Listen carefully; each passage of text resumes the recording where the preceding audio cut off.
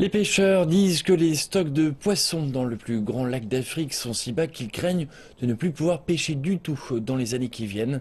Les petits pêcheurs du lac Victoria disent que les grandes entreprises de pêche ont créé des dizaines de milliers d'emplois ces 20 dernières années, mais que l'avenir du lac est vraiment en danger. Parfois on croirait qu'il y a de la place pour tout le monde dans le lac le plus grand d'Afrique. Et pourtant, les pêcheurs qui en dépendent disent qu'il n'a jamais été aussi bondé. Ces 20 dernières années, le lac Victoria a connu un boom des entreprises de pêche. Or, les stocks de poissons ne sont pas inépuisables. Des centaines de pêcheurs à leur compte ont déjà abandonné. Et d'autres se demandent si leurs enfants pourront leur succéder.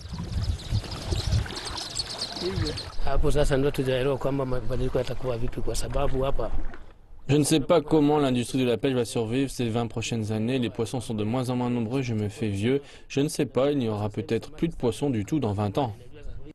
Il n'existe pas de solution facile ici. Les grandes sociétés de pêche font vivre une grande partie des 30 millions de personnes qui vivent autour du lac Victoria et rapportent des millions de dollars au PIB des pays riverains.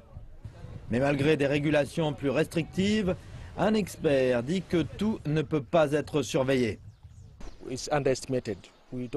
Nous avons tendance à sous-estimer. Nous n'avons pas les vrais chiffres pour dire si nous avons atteint des niveaux durables. Il y a une instabilité potentielle pour l'industrie de la pêche et c'est inquiétant pour les petits pêcheurs et les communautés qui vivent de la pêche. Les gouvernements ont déjà interdit les filets destructeurs et créé des zones de non-pêche. Mais même chez les petits pêcheurs, les prises illégales sont légion. On dit qu'il ne faut pas donner un poisson à un homme, mais plutôt lui apprendre à en attraper un. Mais au lac Victoria, le problème est d'apprendre aux gens à pêcher moins.